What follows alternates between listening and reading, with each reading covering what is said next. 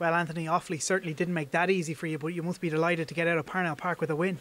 We are, Darren. Yeah, as predicted before the game. You know, they don't they don't do uh, giving up Offaly, do they?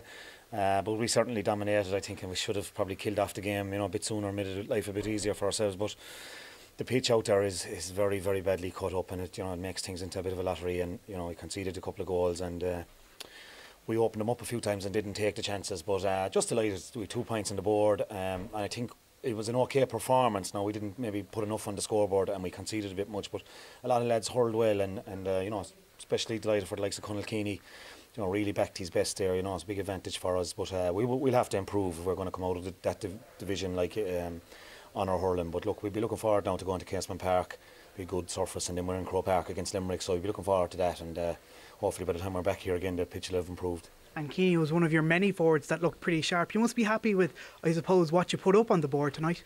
Yeah, look, at there was some lovely patches of scoring, and I suppose if you told us was it 119, so you know, if you told us that beforehand, we'd probably said that that'd be okay. But no, sure, look, at um, Offaly just stayed at it and, and they stayed plugging and they got a few breaks and uh, they, they made it very hard for us, but we're you know, glad to get the result. You got what you came for. Well done, Anthony. Cheers, Dan.